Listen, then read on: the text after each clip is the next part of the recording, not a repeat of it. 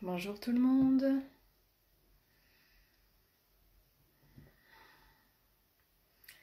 J'espère que vous allez bien. Je suis très heureuse de vous retrouver pour ce nouveau live avec une invitée que j'aime profondément.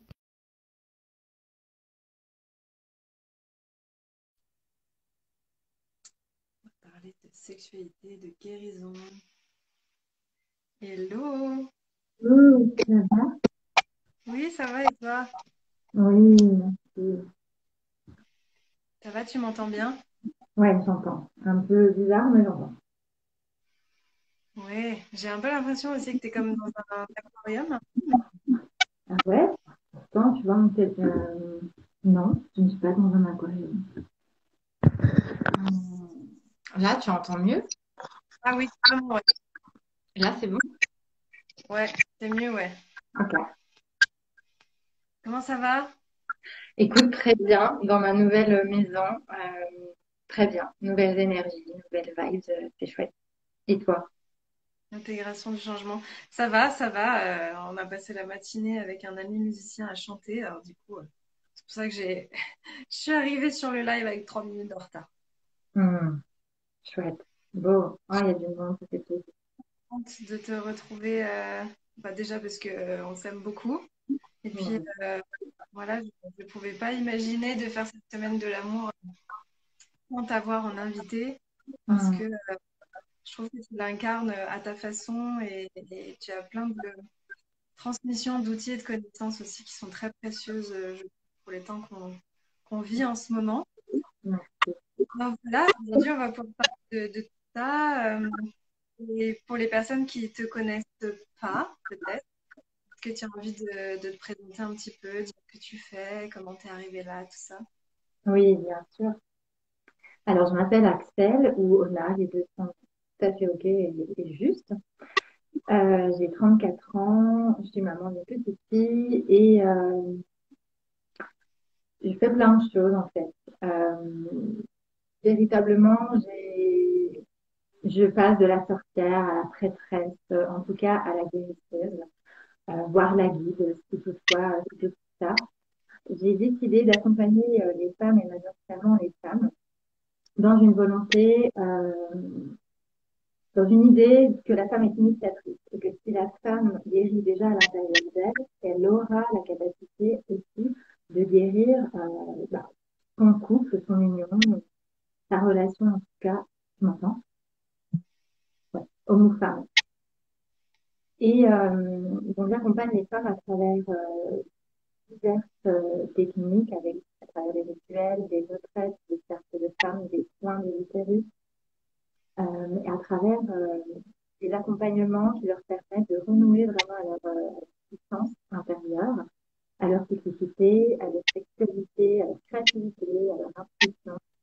Euh, parce que vraiment, pour moi, tout est lié euh, pour euh, pleinement être incarné à soi-même. Voilà. Et tu es, très connecté à, aux sagesses anciennes. Toi, tu viens d'une lignée aussi de, de sorcières, entre guillemets, on pourrait dire. Euh, tu t'es déjà baigné dedans, au final, euh, quand tu étais déjà jeune? Oui, J'ai eu cette chance et pas chance. euh, d'un point de vue extérieur, le monde me dit, oh, t'as de la chance. Et euh, moi, je le voyais pas, pas comme ça. Tu vois, euh, moi, j'étais toujours la bizarre.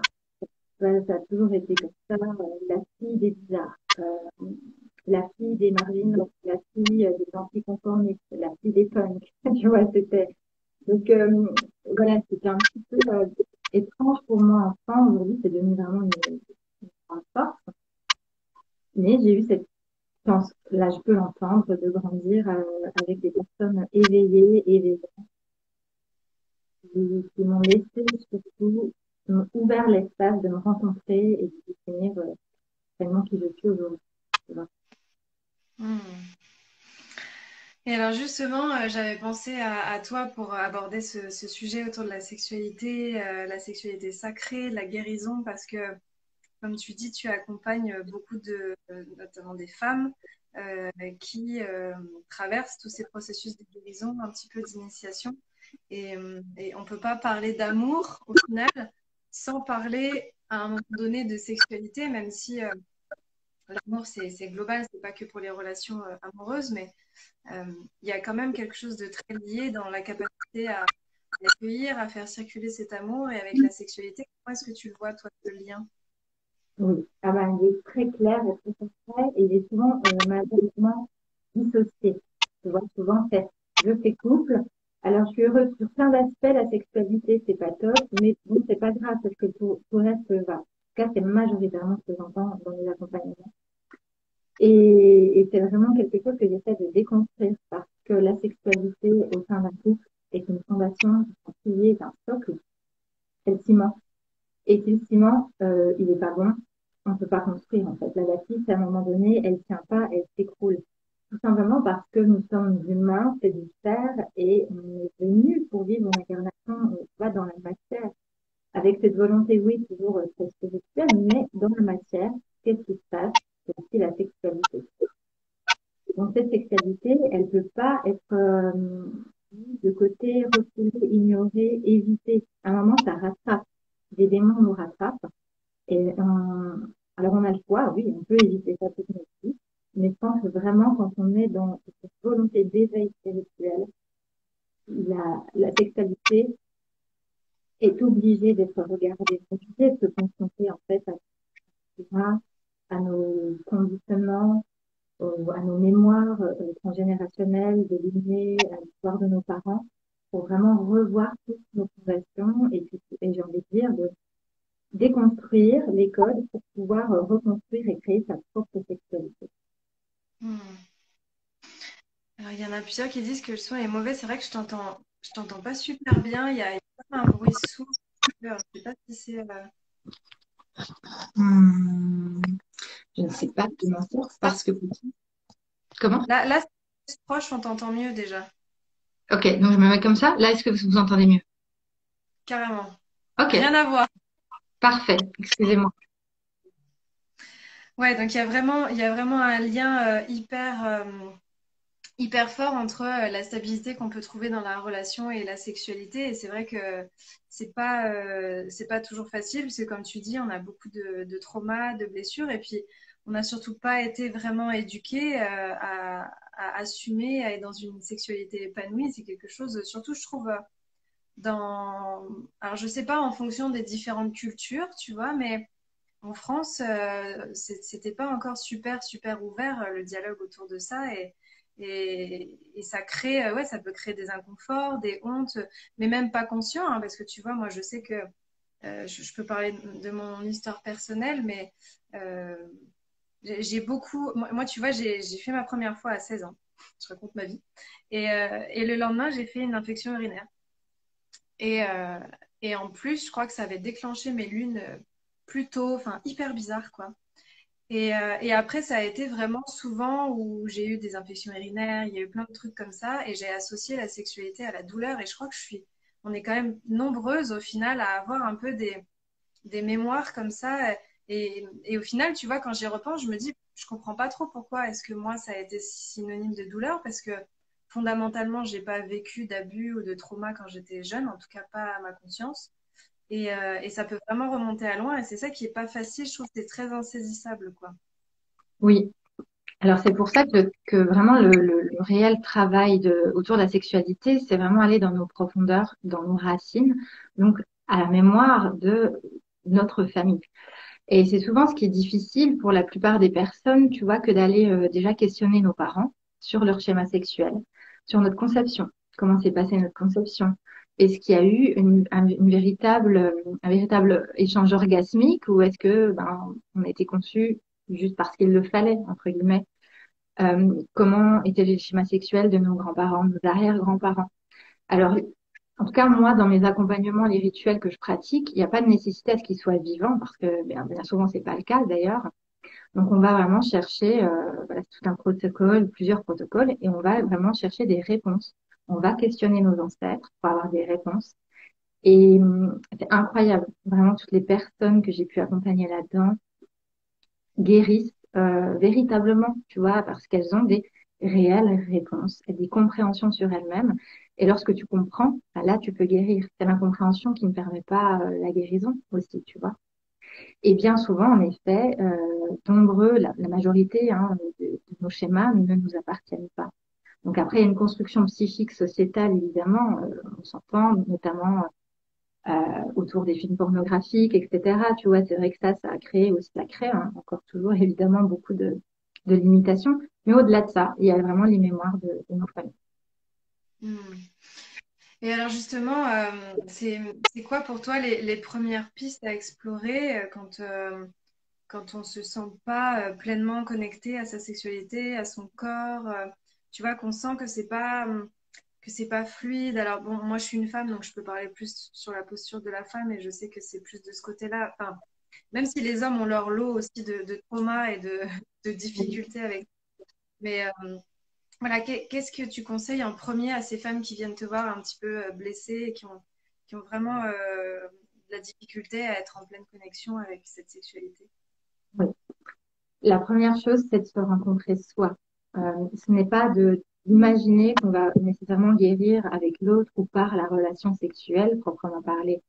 Déjà, la base, c'est de reconnecter à son ventre, à son sexe rencontrer sa yoni, vraiment la découvrir, découvrir son temple, découvrir sa puissance, euh, redécouvrir son corps, redécouvrir sa propre sensualité. C'est la base. La base, c'est revenir à soi et puis se déconnaître soi, connaître vraiment son fonctionnement, ses désirs, ses pulsions, qu'est-ce qui fonctionne, qu'est-ce qui fonctionne pas, qu'est-ce que j'aime, qu'est-ce que je n'aime pas. En s'écoutant soi, on peut après communiquer avec l'autre, le guider et euh, là, le dialogue des corps va pouvoir s'opérer et l'échange énergétique euh, sexuel euh, pourra aller vers une pleine puissance et on sera plus petit à petit dans un échange des corps parce que c'est nécessaire de le faire ou parce qu'il y a juste un besoin animal à, à assouvir. Hmm. C'est là où justement la sexualité sacrée est très connectée à cette notion d'amour parce qu'effectivement, quand on n'est pas dans l'amour de soi, on a tendance à être dans une sexualité un peu compulsive pour venir remplir un vide, pour essayer de se rassurer, euh, etc. Alors que quand on commence à, se reconnecter plus à soi, on est peut-être plus à l'écoute de nos besoins, on va sentir s'il y a vraiment l'élan qui est là ou pas, dans quelle énergie est-ce que ça se fait. Et, ça, c'est vrai que de base, on n'a pas trop la conscience de ça aussi. Non, ou en tout cas, tu vois, majoritairement, c'est plutôt mis sur d'autres aspects. Voilà, euh, je vais écouter ma faim, je vais écouter euh, euh, comment ça se passe au niveau du corps, je vais faire attention à ce que je mange, je vais faire du yoga, je vais faire ci. Mais vraiment, la sexualité, c'est très souvent en dernier plan. Tu vois que ça, que ça, que ça vient. Et, et, et la sexualité sacrée, c'est vraiment cette présence et cette conscience. On est vraiment dans cette idée de connecter au divin et d'accueillir le corps de l'autre et son propre corps comme étant le divin. Il y a cette idée, tu vois, de... Tout à l'heure, je dirais une carte, c'était masser le corps de l'autre comme on masserait notre âme. Et, et c'est ça, c'est je vois le divin en toi, tu vois le divin en moi. Et lorsqu'on connecte à cette divinité-là, c'est-à-dire au respect, comme on rentre dans un temple, dans une église, on va, se taire, on va chuchoter, on va murmurer.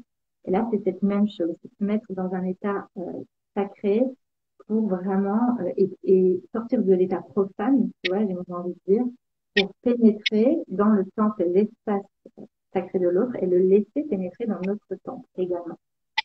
Alors après, euh, il y a aussi cette idée, tu vois, de, de, venir nettoyer toutes les mémoires énergétiques, les miasmes énergétiques euh, qu'on a pu avoir déjà de par nos propres relations sexuelles, mais aussi les relations sexuelles de nos conjoints. Euh, c'est-à-dire que bah, à partir du moment où il y a un échange sexuel, il y a une mémoire énergétique vibratoire qui qui demeure tant qu'elle n'est pas nettoyée. Donc il y a des femmes, tu vois, qui, me disent oh j'ai eu très peu de relations, je comprends pas, euh, là je ressens énormément de choses, j'ai l'impression d'être sale et euh, ça m'appartient pas. Et oui, et si le partenaire ben, a eu énormément de relations, des relations qui n'étaient pas forcément dans le respect, mais qui étaient vraiment dans la pulsion, euh, et peut-être qu'il y a des choses qui sont mal passées également, et eh ben la femme peut en effet largement ressentir ou euh, être imprégnée, tu vois, de, ces énergies-là. Donc c'est hyper important d'aller nettoyer aussi toutes nos propres, toutes nos histoires, toutes nos relations sexuelles, Et puis, pourquoi pas, évidemment, d'inviter nos partenaires à faire de même. Hmm. Et justement, est-ce qu'il y a Ouais, tu te rapproches encore un peu. Est-ce qu'il y a des, euh, des rituels qui peuvent euh, justement soutenir ce processus? Je sais que toi, tu parles beaucoup des eaux de yoni. Il y a aussi euh, les, les, yoni steam, enfin les bains de vapeur. Est-ce que c'est des choses qui se démocratisent de plus en plus? Est-ce que tu as envie de parler un petit peu de ça aussi? Oui, bien sûr. Alors en effet, bah, ce sont des pratiques que, j'adore. Donc l'œuf de yoni donc est un, un œuf, un œuf en pierre, euh, donc de différentes pierres avec des vibrations différentes euh, que la femme va venir insérer dans son vagin euh, pour alors connecter à la médecine de la pierre, certes, mais également permettre à la pierre de venir masser tout l'intérieur du périnée. Et en fait, notre périnée euh, contient énormément de mémoire et donc à chaque fois, si tu veux, que l'œuf va venir masser l'intérieur, il va venir, venir libérer, sur les différents muscles du périnée, différentes mémoires. Alors, pas tout, mais quand même. Énergétiquement, ça peut être très fort. Euh, ça va aider les femmes à libérer euh, souvent du coup, des blocages qui sont liés, des choses qui ne sont même pas euh, conscientes. Ça va permettre une meilleure lubrification, une meilleure tonicité du périnée. Et le périnée est même notre stock. C'est vraiment une, base euh, très importante de notre vitalité, de notre santé féminine. Et euh, lorsque ce périnée va être aussi en santé, ça va euh, permettre aussi d'avoir une sexualité qui sera beaucoup plus épanouie. Euh, et, et, ça va nous permettre de reconnecter beaucoup plus à cette vibration. Et également, ça va stimuler l'enracinement, l'ancrage, ce dont très souvent les femmes manquent de manière générale aussi. Donc ça, c'est vrai que pour les femmes, c'est super. Pour procéder à un nettoyage soit vaginal, soit utérin, ça, il y aura euh, les, les pas pour venir nettoyer, euh, alors avec l'énergie et l'alchimie des plantes, toute notre matrice. Euh, donc ça peut être des bains de siège, et là ce sera en fait finalement un nettoyage de la, de ça ne va pas aller en profondeur, mais le bain de vapeur va, va pouvoir aller vraiment nettoyer l'utérus donc de toutes nos impuretés, de tous les restes de menstruation, des cycles précédents, etc. Euh, et il y a une vraie reconnexion parce que là, du coup, aussi, tu sens, tu sens cette chaleur, tu sens cette eau, euh, tu sens ce temps se s'ouvrir petit à petit, se décontracter avec la chaleur. Et donc, ça va vraiment permettre euh, ben, de revenir euh, aussi à cette sensation et de nettoyer. Après, il y a évidemment le nettoyage énergétique. Euh, donc, euh, il y a plusieurs praticiens, praticiennes. Mais il y, a, quand même souvent, lorsqu'il y a des mémoires qui peuvent être lourdes aussi, il faut travailler sur l'énergétique aussi. Le, le, le bain de vapeur seul ne, suffira pas. Et ça peut aussi se faire en toucher intrapélvien. Donc, avec des sages-femmes, enfin, praticiennes, spécialistes de la dedans qui vont aussi pouvoir venir faire un peu comme le Véloni, des massages sur les différentes, sur les différents muscles pour venir libérer en fait toutes ces tensions. Mmh, donc il y a déjà pas mal de, de portes et de voies qu'on peut emprunter euh, sur ce chemin de guérison. Et euh, peut-être que c'est important aussi d'avoir conscience que, que tous, tous les dysfonctionnements symboliques euh, et même les, les, maladies, les désagréments qu'on peut avoir au quotidien, ça a toujours un sens. Tu vois, moi, j'ai beaucoup, beaucoup souffert euh, quand j'étais jeune, justement, bah, de ne pas avoir été entendue et écoutée parce que j'étais avec la médecine traditionnelle. J'ai quand même été pendant un an avec une neurologue qui m'a mis sous antibiotiques en traitement de fond. Je te laisse imaginer le bazar. Et euh, c'est vrai qu'il y a énormément de femmes voilà, qui, font, qui font j'ai vu passer des, des, des, commentaires où il peut y avoir des vaginites ou des douleurs au niveau du vagin où la relation elle est plus possible. Moi, j'ai fait de la vestibulodynie, donc c'était un peu le même système où tu souffres euh, parce qu'en fait, tu as comme une, blessure qui cicatrise pas parce qu'en fait, toute ta flore est désinguée. Euh, il y a tout ce qui est mycose, des infections urinaires. Euh, après, bon, les douleurs menstruelles, etc., ça c'est encore plus courant, mais c'est important aussi de mettre de la lumière sur le fait que tout ça c'est symbolique et que ça sort pas de nulle part et que c'est pas juste notre corps qui dysfonctionne sans raison, quoi.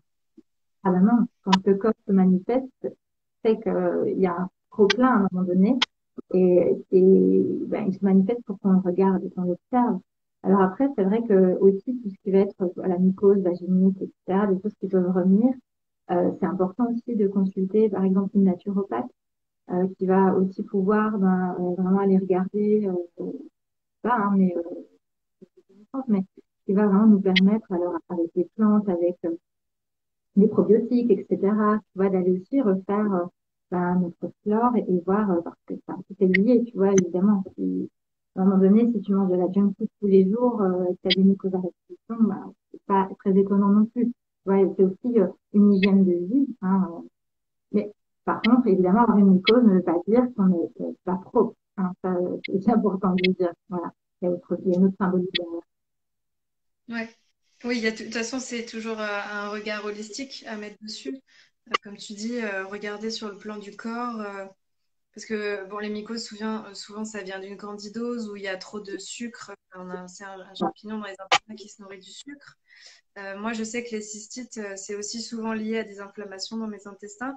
Et en même temps, il y a toute la dimension symbolique qui est intéressante à regarder parce que ben, les infections urinaires, il y a une notion de territoire, de non-respect de ses besoins. Euh, et que enfin, moi, en tout cas, ça parle beaucoup de ça. Les mycoses, souvent, c'est un peu genre laisse-moi tranquille, euh, euh, je veux tenir à distance. Et donc, voilà, c'est aussi, comme tu dis, le, corps qui essaie de nous exprimer des choses. Tout à fait. Mais encore une fois, voilà, c'est. voilà, tu vois, des médecins traditionnels, ils vont traiter, donc en effet, peut-être à hydrater, peut-être mais ça va pas du tout guérir bah, le fond euh, qui se passe dans, la psyché, ça, ça ne sera pas, euh, ça sera pas guéri. Donc après, je, sais que ça demande euh, vraiment du courage que d'aller regarder ça, que de se confronter. Hein. C'est, pas simple, c'est notre intime, c'est c'est pas visible. Alors en plus, il y a ça, le sexe de la femme n'est pas visible comme le sexe de l'homme. Donc on est toujours dans ce, dans cette intériorité, dans ce qui va pas se dire, dans la profondeur, dans la noirceur. Alors voilà, si on n'a pas fait déjà un chemin sur soi, un minima, euh, ça peut, euh, ben, rester dans notre engrenage enfermé. Euh, mais il y a des tas de thérapeutes qui sont très bons là-dedans, qui, sont très respectueux de notre intime et qui sauront nous guider. Il faut, faut pas hésiter à demander de l'aide et à, laisser, à laisser des, infections, des, troubles, des, fermetures. Parce que si on se ferme en bas, on se ferme au cœur, tout est bloqué, tout est lié et à un moment, y a, on, on rayonne plus, on jouit plus de la vie, on n'arrive plus à aimer, on se dénigre, on n'arrive plus à pardonner. Enfin, tu vois, tout est euh, intrinsèquement lié. Donc, euh, voilà, c'est ouais. vital. Tout est lié. Et pour toi, euh, la sexualité, je sais que c'est, c'est un espace euh, de régénération euh, en termes de vitalité. Alors, c'est assez intéressant et rigolo parce que c'est vrai qu'on a tendance à, à, croire, en tout cas dans le conscient collectif, que euh, voilà, la sexualité, ouais, c'est cool, euh, tu te décharges et puis après, oh, t'es à plat et puis tu vas dormir, quoi. Alors qu'en fait, la sexualité consciente et sacrée, dans un sens, euh, c'est censé être un espace alchimique où on peut euh, se régénérer. Est-ce que tu as envie de, parler un petit peu de ça? Oui, bien sûr. Alors, dans la sexualité, en effet, euh, peut se passer deux choses en finalité, on va dire, d'un acte. Ben, soit ça va être la jouissance, et, en effet, c'est-à-dire une, forme de perdition d'énergie. C'est très, alors ça se voit encore plus chez les hommes que chez les femmes. Lorsque l'homme éjacule, en fait, il perd son énergie vitale, et souvent, va, hop, hop là. Alors, chez les femmes, ça dépend. Chez les femmes, ça peut donner de l'énergie aussi. Euh, donc on, peut arriver là, hein, mais euh, le, but de la sexualité d'un rapport n'est pas nécessairement d'arriver jusqu'à la jouissance, mais plutôt de, créer une montée vibratoire qui va nous permettre en fait, euh, donc alors ça va, c'est beaucoup plus sensuel hein, pour le coup. Donc là on est vraiment dans le rapport au corps, dans le rapport charnel. Euh, donc après c'est très euh, ritualisé, j'ai envie de dire. Là, on ouvre vraiment un espace, on prend rendez-vous avec l'autre c'est pas euh, un petit coup comme ça euh, dans son salon euh, pendant le lever à la tête, tu vois, c'est pas ça l'idée du tout.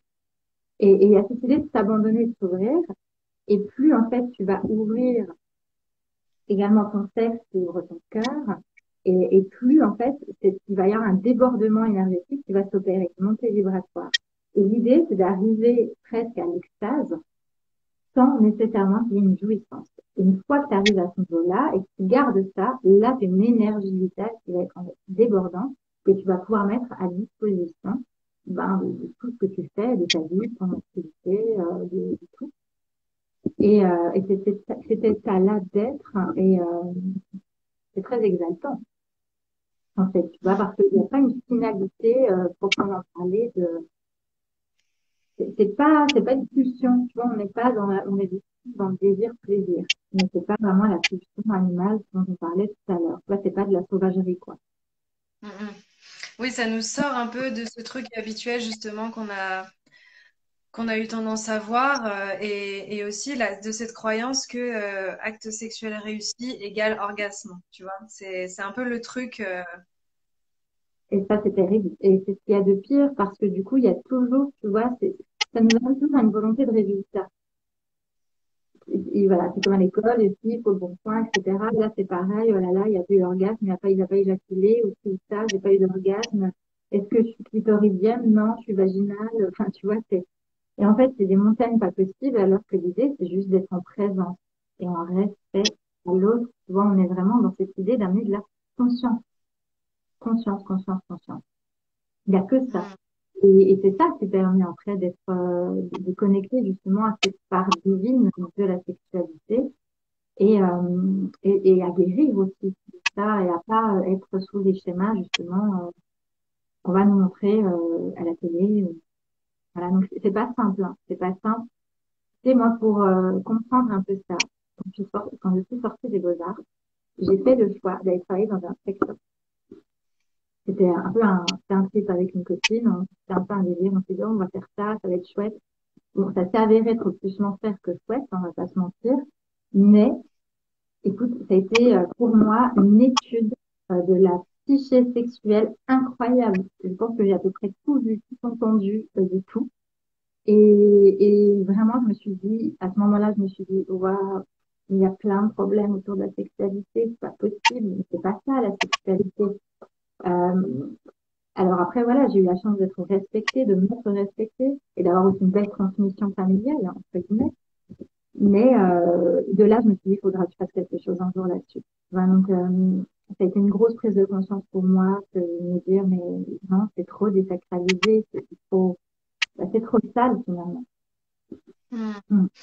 Et, et, comme tu disais au début il y a un côté assez initiatrice aussi chez la femme qui fait que peut-être aujourd'hui euh, c'est tout ce chemin euh, de nous déjà nous guérir arriver à retrouver une sexualité euh, consciente et sacrée déjà avec nous-mêmes tu parlais des Eudionie voilà de, de, vraiment arriver à, à cultiver ce sacré avec nous pour qu'ensuite on puisse le partager avec un partenaire et puis qu'éventuellement on puisse aussi le transmettre à nos enfants et principalement nos filles parce que c'est un peu le, un peu souci.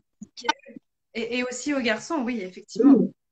Tu vois, parce que l'homme, il est, il est quand même bien saccagé aussi. Hein. Tu vois, le masculin, il est, euh, il est quand même mis au second plan, il est bien endommagé. Donc, c'est important aussi, tu vois, que les mères euh, guérissent leur histoire aussi pour accompagner des filles qui sont après euh, bah, sont après de, de, de, de temps euh, chevaliers euh, euh, qui, qui sont, proches aussi hein, de leur féminité et, et, qui sont en capacité d'entendre et d'accueillir leurs émotions à celles de leur partenaire.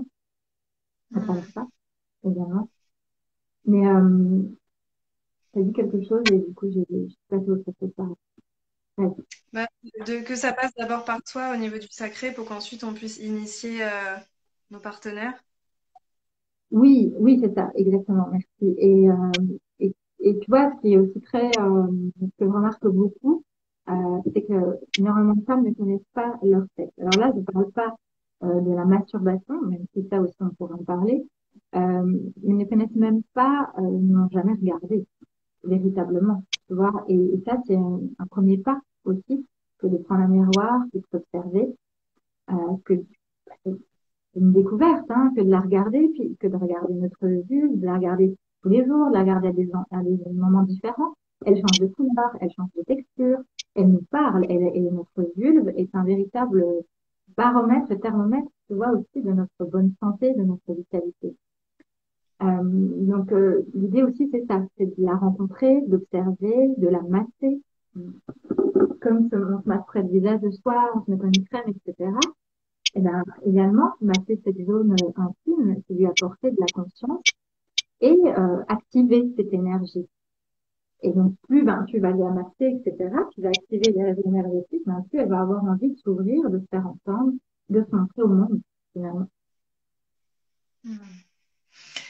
Et, et, et, alors, j'étais en train de, me dire que justement, pour arriver à initier aussi cette sexualité euh, sacrée euh, aussi dans le, dans le couple et dans la relation, est-ce qu'on n'a pas aussi les mêmes fondamentaux que dans la relation tout court d'amour, qui est euh, le dialogue, le respect et toutes ces choses-là? Parce que c'est vrai que on, entend, on entend souvent que oui, mais moi je voudrais vivre justement ça avec mon partenaire, mais bon, je ne sais pas s'il est partant, je ne sais pas comment lui en parler. Et au final, on, voit aussi à quel point l'importance du dialogue est primordiale quand on a envie d'aller dans quelque chose de beaucoup plus conscient. Ah, je t'entends pas. Tu m'entends? Ouais, là mieux. Pardon. Euh, oui, oui, c'est une base, en effet, bien sûr. Dans une relation euh, de couple, en tout cas la relation sexuelle aussi, c'est comme en amour, l'idée étant de parler, de parler de nos propres désirs, pourquoi pas de nos fantasmes. Euh, pas de honte à la masturbation, euh, c'est aussi un dialogue qui, euh, peut être très très beau et très fluide hein, que, d'accueillir notre masturbation, d'en parler avec l'autre de parler, ben voilà, ça c'est pas ok pour moi, ça c'est ok, j'ai telle limite, j'ai envie d'aller là, que chacun s'entende, se regarde. Et après, la connexion dans l'acte, ça se fait beaucoup, beaucoup par le regard et par le souffle. Euh, la respiration est une base, donc après c'est une base de vie, hein, évidemment, mais euh, c'est ce qui va nous permettre de rentrer en synchronicité et en synchronisation avec l'autre. Et c'est vraiment la respiration qui va amener tu vois, à cet état-là, à cette montée vibratoire. Mais à la base, c'est le dialogue. Et le dialogue, ça passe aussi bah, par le souffle, par la voix. Et, et, si la voix est bloquée, au niveau de la gorge, en bas, c'est bloqué aussi. Il y a cet effet voix de conséquence, tu vois. Euh. Donc, si je n'ouvre pas ma voix, je ne peux pas ouvrir ma vulve. Si je ferme ma vulve, ma voix se ferme aussi. Mmh, ouais, c'est très lié. Ouais, ça, ça, C'est très lié. Et effectivement, comme tu dis, le, le regard et la respiration, euh, c'est vraiment la, base fondamentale, tu vois, plutôt que de tout de suite vouloir aller acheter 8 millions de bouquins de tantra, etc. Euh, de juste se dire, en fait, c'est déjà tellement un énorme pas d'arriver à faire euh, euh, intégralement l'amour du début à la fin en étant connecté avec le regard de l'autre, en, en, étant dans la respiration consciente, parce que souvent, on a tendance un peu à se mettre en apnée, on respire plus vraiment. Euh, on est dans notre tête, euh, on n'est pas vraiment là. Euh, rien que d'arriver à être dans une présence consciente pendant toute la période, je pense que déjà ça, c'est un gros boulot. quoi. Et c'est la base, il n'y a même pas besoin, en effet, d'aller chercher, comme tu le dis très justement, 10 000 livres, des de ça. Non, rien que ça. Avec ça, tu, fais tout, tu découpes tout. C'est incroyable de se connecter à l'autre de cette façon. Et, et comme tu dis, c'est à ce moment-là que tu vis la présence. Euh, et tu vois, c'est comme le, le beaucoup, hein, euh, tu vois, éteignent la lumière. Alors après, euh, voilà, il y a, après, je comprends aussi hein, que par rapport au corps, de pas se voir, d'avoir honte, de pas oser se montrer, etc. Mais éteindre la lumière, on peut pas regarder l'autre. Alors oui, tu, peux le voir avec le cœur, bien sûr, mais le regard est, est extrêmement important. C'est le signal, c'est dans les yeux de l'autre que tu vois si tu lui fais du bien, s'il y a de la douleur, s'il y a des changes qui se passent, c'est un moyen de communication non verbal, mais un des plus puissants, en fait. Hein, c'est le, le, dialogue de l'âme euh, profond. Et, euh, donc, c'est, même à la lueur d'une bougie, ça peut suffire. Mais euh, se regarder, c'est, aussi montrer, montrer, vraiment montrer du respect, tu que regarder l'autre dans les yeux. Et ce qui n'est pas évident, c'est que quand tu te laisses regarder, il y a aussi un espace de vulnérabilité au final où c'est ça qui est parfois le plus difficile, quoi. C'est, c'est, même tout l'enjeu d'accepter de se montrer vulnérable, de plus se cacher. Euh, euh, parfois, rien que c'est un, c'est un pas euh, énorme par rapport à l'acceptation de soi. Bah, c'est le plus grand tout à fait, montrer sa vulnérabilité. Et souvent, tu vois, pour des hommes qui ont grandi dans des familles très, très patriarcales, etc., il y a beaucoup de difficultés hein, pour les hommes euh, à, à montrer cette vulnérabilité-là, à, beaucoup d'hommes ne savent pas comment faire, tu vois, s'ils doivent être dominants, comment ça se passe, euh, qu'est-ce que je dois faire. Il y a des hommes aussi, tu vois, quand ils sont en, état de distance, là, ils sont plus du tout aux prises, il y a, plus de structure, ils n'arrivent plus à, gérer ce qui se passe.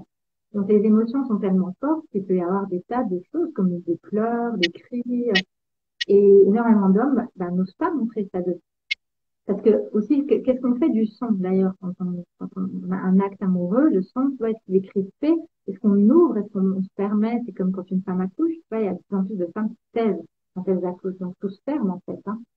Et, et, et c'est la même chose. Et du coup, ben, plus on va réussir à travailler cette ouverture-là, euh, ben, chez l'homme aussi, chez la femme, d'ouvrir sa voix à ce moment-là, et de, de, de, de permettre d'être dans cette pleine vulnérabilité, là, le dialogue peut se faire.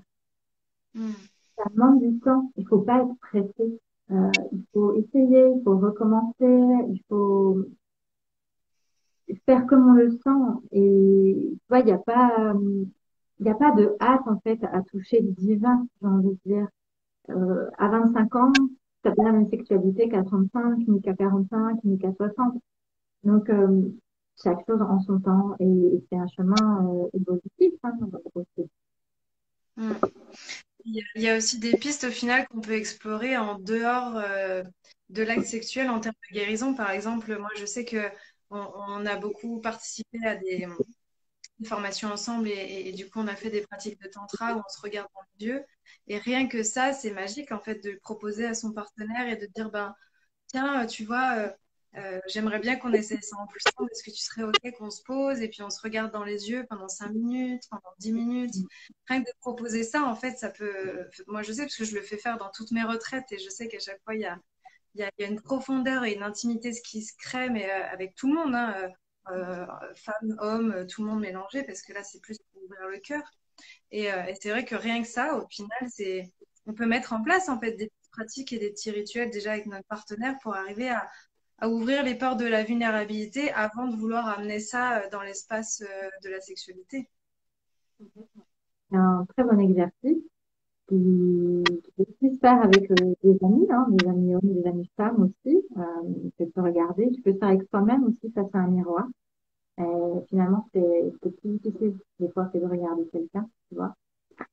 Et, euh, et exactement, c'est ça, c'est une petite chose très simple, mais qui, qui amène vraiment à rentrer euh, en rencontre vraiment à, à l'autre, au-delà même de la parole, là, pour le coup.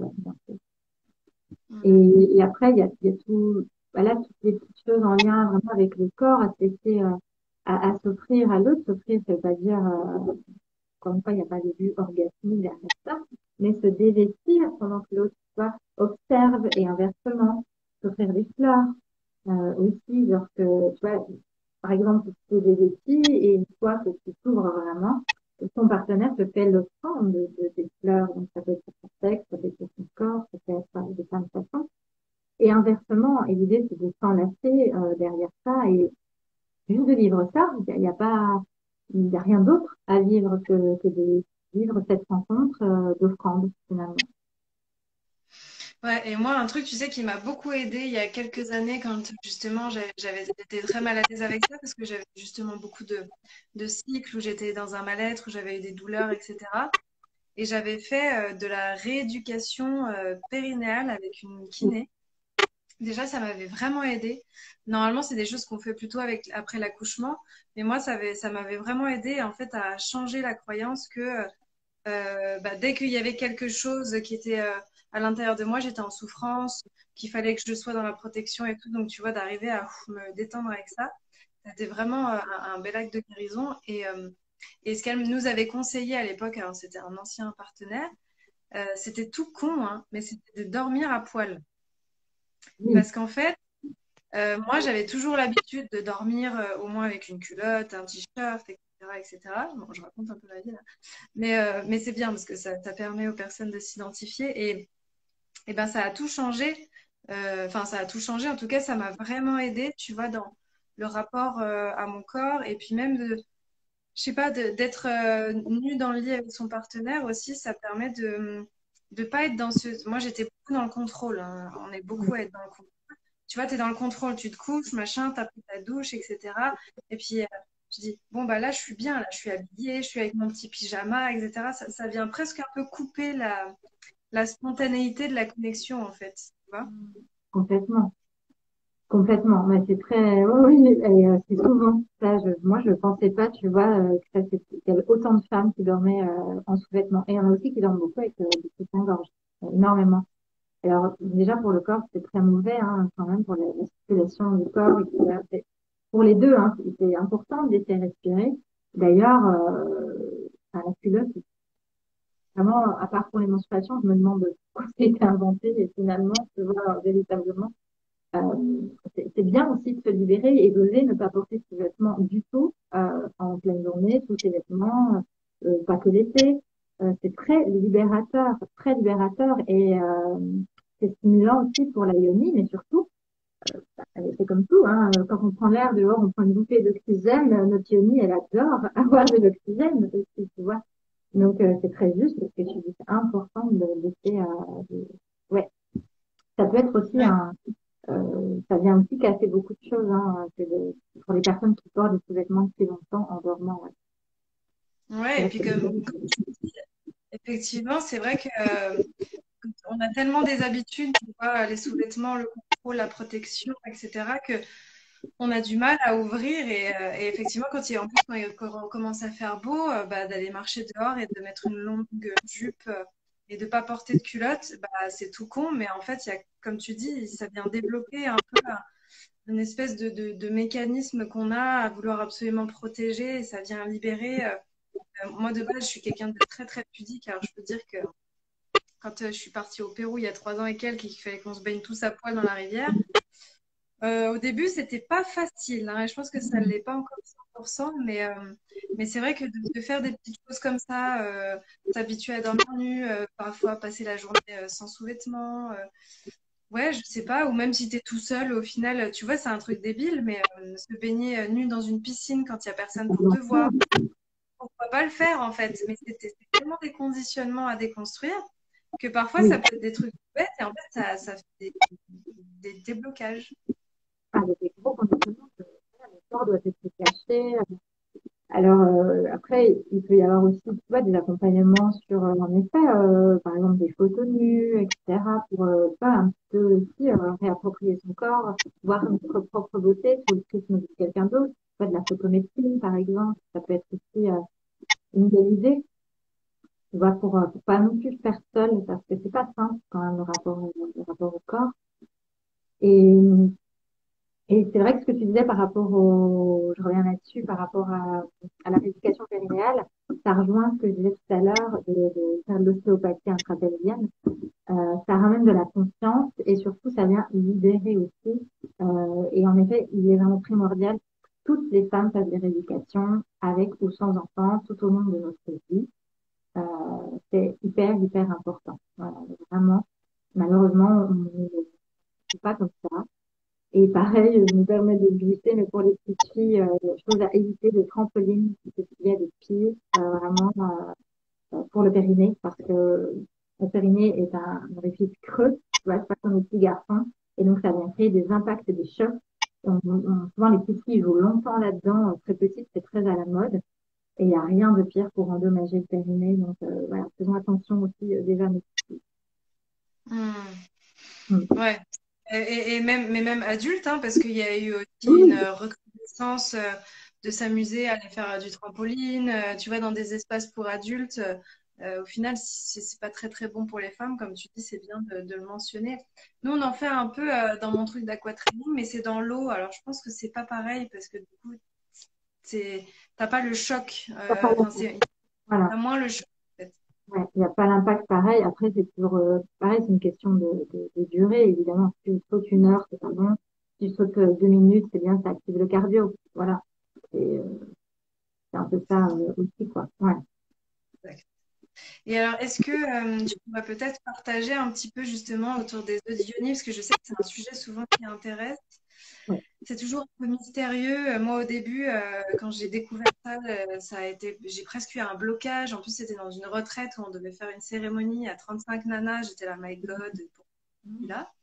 Et au final, ça a été un énorme déblocage. Donc, j'ai beaucoup de gratitude pour ça. Est-ce que tu as envie de, voilà, juste dire quelques mots là-dessus pour les femmes bah, qui seraient curieuses, qui auraient envie d'y aller, mais qui osent pas trop parce qu'elles ne savent pas, que ça leur fait peur, etc. Oui, bien sûr. Alors déjà, euh, ben souvent c'est euh, la première question, c'est quelle taille choisir, euh, quelle carte choisir. c'est un peu le, voilà, le, début. Alors la taille, moi je conseille commencer de prendre une taille moyenne ou grosse taille. pour une femme qui voilà, qui a pas forcément de voilà, de problématiques quelconques, c'est on va dire c'est le basique. Le moyen, je trouve que c'est le top parce que la, grosse taille peut faire un peu peur. C'est pas anodin que d'insérer quelque chose dans son vagin, évidemment. C'est pas je reçois ma pierre et j'insère et puis basta, encore une fois. Euh, amener du sacré toujours, donc laver, purifier nos pierres, certes, mais ce qui va être euh, vraiment primordial, euh, donc moi, ce que je fais toujours, c'est d'enterrer les pierres euh, à la terre, remettre à la terre. Donc ça va décharger, en même temps recharger, donc ça c'est intéressant. La terre, la terre, la terre, le socle, toujours, toujours. Et puis, euh, après, créer déjà une rencontre avec notre corps. Donc, ça peut être le mettre dans notre poche, le glisser euh, dans le soutien-gorge, juste le mettre dans le fond de la culotte. Pour le coup, la culotte, c'est cool, elle peut tenir là. Pour présenter à la vulve et en fait, déjà de dire, bah, écoute, voilà, je te fais un cadeau, une offrande. On peut se masser aussi l'extérieur de la vulve avec, euh, pour vraiment rencontrer avant d'insérer dormir avec, par exemple, sous feu de l'oreiller ou quand on recette aussi.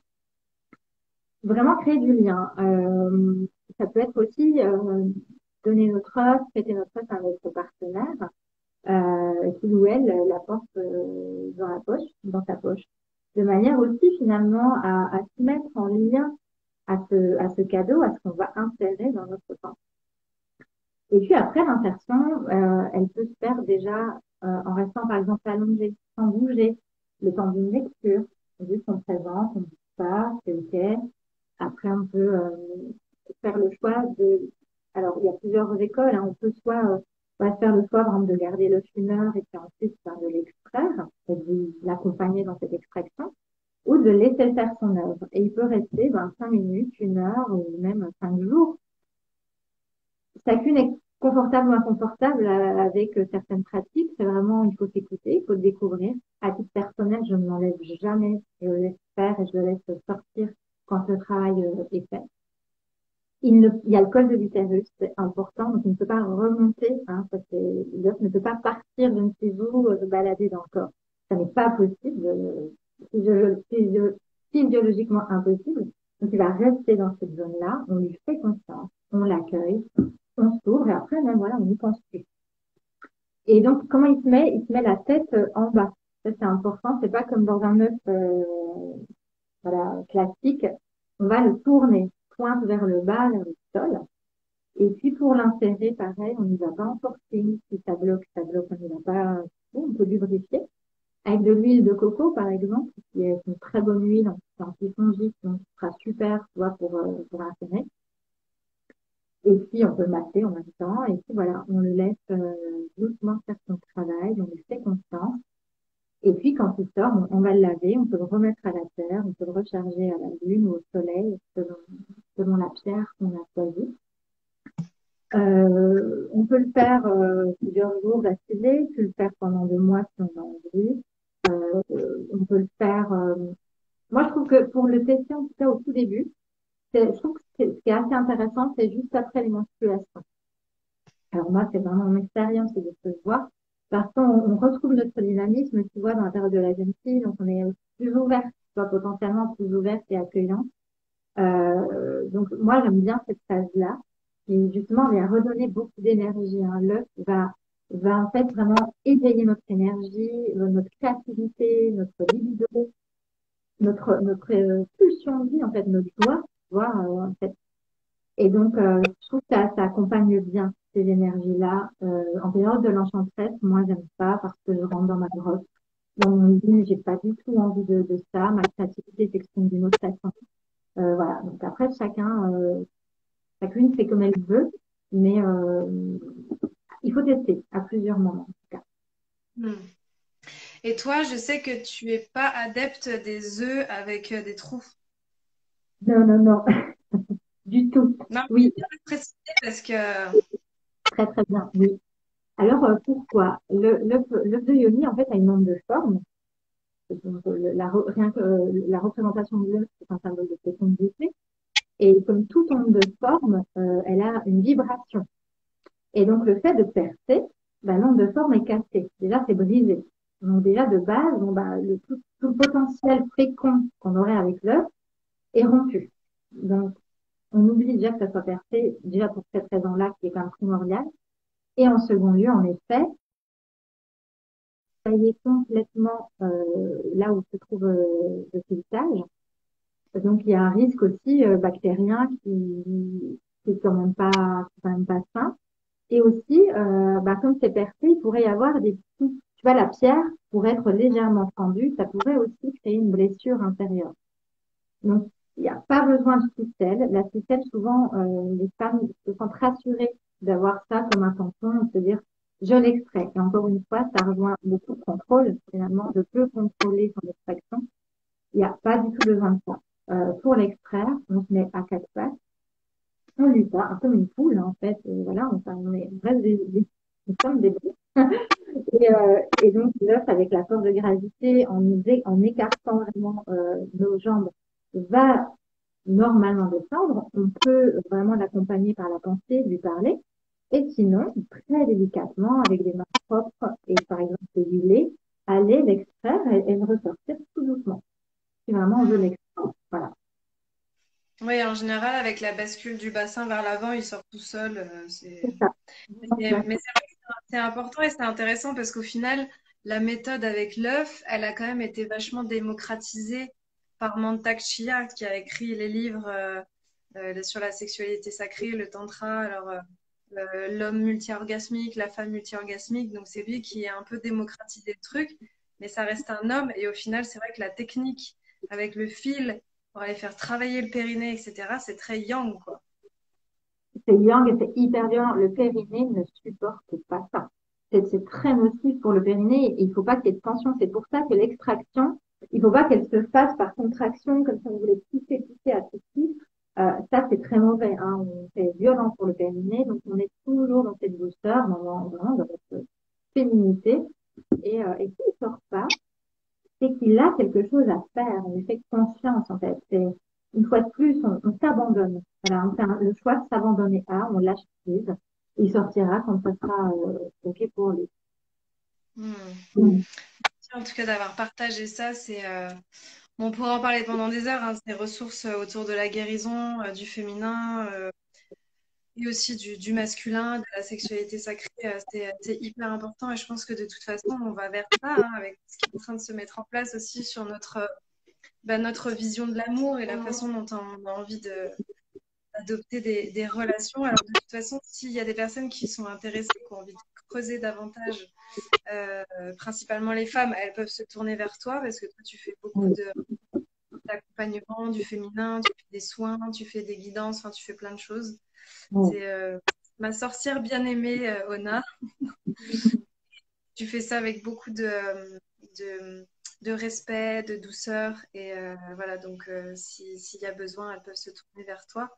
Est-ce que tu as envie de, de partager quelque chose euh, une actualité que, que, tu as ou tu as envie de terminer avec un message euh, Voilà, c'est. Mmh, déjà, merci. Ça, c'est mon premier message. merci à toi, vraiment de tout cœur pour ce moment en partage. Merci, c'est très, très doux. Merci euh, à toutes celles et ceux qui m'ont regardé, à ceux qui regarderont. Et une actualité, eh bien, voilà, je devais ouvrir en février, on est encore en février d'ailleurs, euh, le Temple des Roses,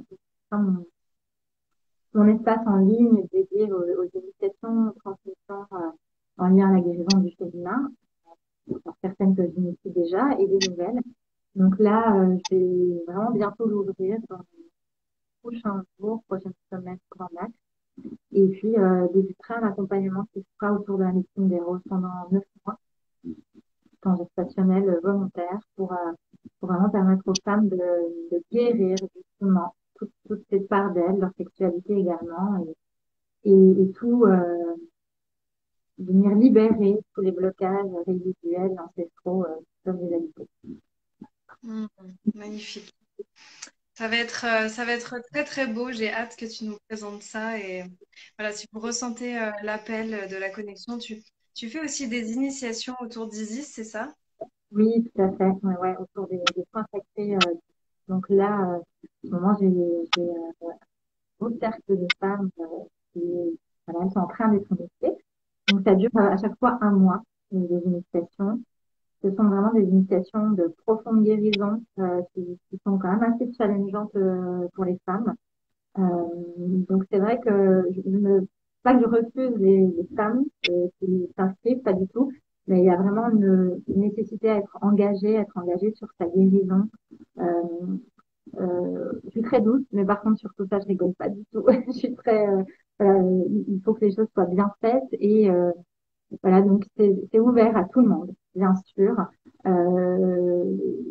Mais peut-être que des fois, c'est pas le moment. Il y a des femmes qui sont venues six mois après faire l'initiation et c'était très utile pour elles aussi. Mmh. Magnifique. En tout cas, merci d'œuvrer pour euh, cette guérison du féminin. Je pense qu'on en a toutes bien besoin. Et euh, c'est aussi ça qui fait que bah, plus on se sentira guéri, nous, plus on pourra aussi euh, se guérir dans, dans l'amour, dans la relation et, et- et transmettre tout ça autour de nous. Donc, merci euh, mille fois d'œuvrer sur ce chemin. Merci Et euh, beaucoup de joie que tu puisses partager toute ta, toute ta médecine. Merci à tout le monde d'avoir été là en direct. Le- la vidéo sera bien évidemment, comme d'habitude, en replay euh, sur euh, mon profil Instagram et sur YouTube. Et, euh, et voilà, merci. Merci, Anna. Merci à toi, Sandra, très fort. Merci de cœur. Belle fin de semaine. Oui, toi aussi. Au revoir Merci. tout. Au revoir.